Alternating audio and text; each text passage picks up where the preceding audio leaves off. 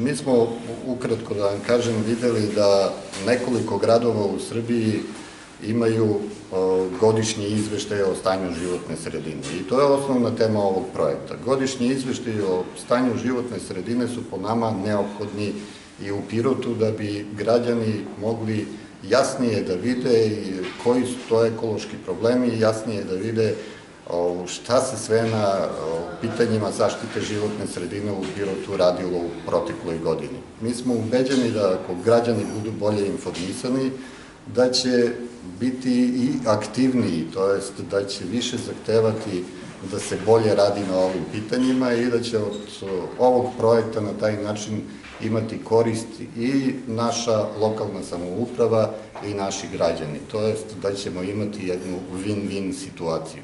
I mislim da je vrlo važno da ljudi prvo budu informisani o tome šta su ti osnovni aspekti zaštite životne sredine, šta se preko godine radi na zaštiti životne sredine. Mi smo ovde i pripremili za prezentaciju neke od rezultata godišnjih o zagađenju vazduha, dobili smo i neke podatke od javno-komunalnog preduzeća, od ostalih institucija u gradu i mi ćemo te podatke sklopiti u jedan dokument koji će biti pilot dokument godišnjeg izveštaja o stanju životne sredine. To izveštavanje nadalje bi trebalo po nama da preuzme lokalna samouprava. I mi se nadamo da će njihovi izveštaji u buduće biti i kvalitetniji, to je sadržajniji od naših izveštaja.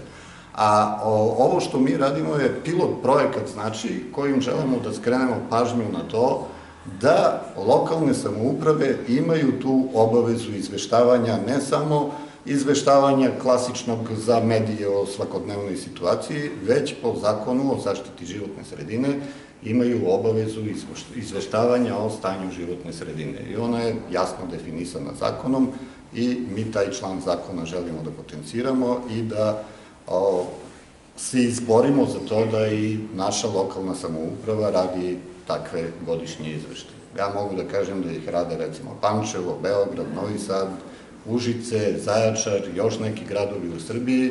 Ne radi ih svi jer svi ne smatraju da je to njihova obaveza, u zakonu je to dato previše opšte, ali nadam se da će Pirot prihvatiti našu inicijativu i da će i oni krenuti u izradu tih izveštaja. Sa ciljem da građani budu bolje informisani, da imaju podatke kad nešto traže od nadležnih institucija i da na osnovu tih podataka traže da nešto bude bolje.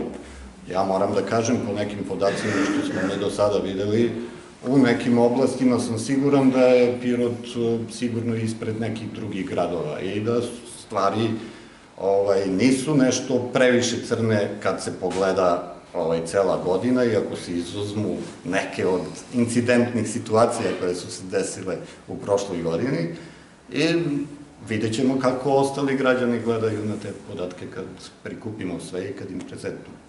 Ono što imate od podataka, da li postoje baš neki alarmantni, odnosno za alert, za uzbunje? Ne, ono što imamo od podataka na godišnjem nivou, sada jeste ono što se zna, ono što se tiče stanja zagađenja vazduha, to je stvarno za uzbunu, po nekim našim podacima, ja ću da vam kažem, ono što mi je tako ostalo u, u, u sećanju, Znači, otprilike nekih 63 dana, ako se, ali moram da se ogradim odmah, mi smo to postavili tako što smo izvukli iz godišnjeg izveštaja državne agencije sate koji su bili sa prekoračenjem vrednosti zagađanja vazduha. Na osnovu tih sati izračunali smo prosek da izvučemo dane.